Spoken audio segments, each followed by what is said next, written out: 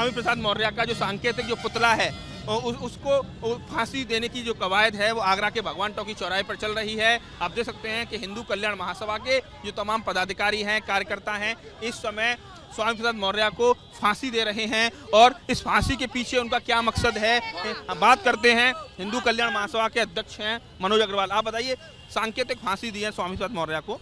आप रामचरित मानस को लेकर जो बयान दिया उससे नाराज़ है। हाँ उन्होंने जो हमारे हिंदू हिंदू हमारा जो सबसे बड़ा ग्रंथ श्री रामचरित्र मानस है उनके बारे में उन्होंने बद्दी टिप्पणी करी है वो इस संसार में रहने ही लायक नहीं है। उन्हें तो सांकेतिक फांसी हम अभी दिले नहीं सर भारतीय सरकार उसको फांसी दे नहीं देगी तो हम चौराहे पे उनको इकट्ठा कहीं भी मिल गए उनको हम फांसी पे चढ़ा देंगे।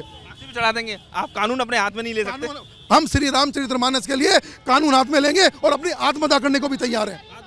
तैयार है। देखिए ये उग्र प्रदर्शन इस समय चल रहा है। आप लोग स्वामी प्रसाद मौर्य को लेकर काफ़ी ज़्यादा आहत हैं उनके बयान को लेकर। बिल्कुल स्वामी प्रसाद मौर्य ने जो अनैतिक कार्य किया है रामचंद्र ग्रंथ के बारे में गलत बोला है। मैं तो पार्टी के सुप्रीमो से कहूँगा कि ऐसे आदमी को पार्टी से बाहर करे। से बाहर करने की मांग कर रहे हैं। आप लोग आए हुए हैं स्वामी प्रसाद मौर्य। रामचरित मानस वो ग्रंथ है हर घर में उसका पाठ होता है। आस्था का केंद्र है आस्था का ग्रंथ। हम तो सिर्फ़ एक ही बात चाहते हैं कि स्वामी प्रसाद मौर्य को फांसी दी जाए। आगरा से नितिन उपाध्याय एबीपी गंगा।